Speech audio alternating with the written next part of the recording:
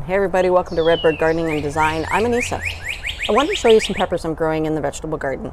I um, didn't get starts this year, which is uh, the plant's already started up and has a good size to it as opposed to planting just seed.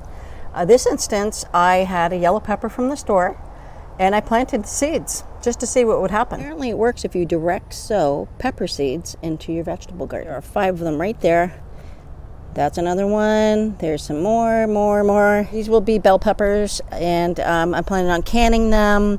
You can roast them, uh, put them on the grill and char them up a little bit, and then put them in olive oil in a canning jar, and it turns out wonderfully. I grew up with uh, canning in my family, and it's a great way to preserve your food and uh, makes it easy to have it accessible, and you can continue to enjoy the food that are grown from scratch.